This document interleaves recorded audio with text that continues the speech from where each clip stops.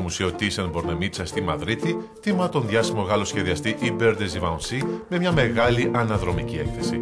Ο Μόδιστρος που έδισε την Audrey Hepburn, την Grace Kelly και την Jackie Kennedy μεσουράνησε τις δεκαετίες του 1950 και 1960, βάζοντας τη δική τους φραγίδα στο χώρο της μόδας μέσα από τις λιτές, ιδιαίτερα κομψές, θηλυκές δημιουργίες του.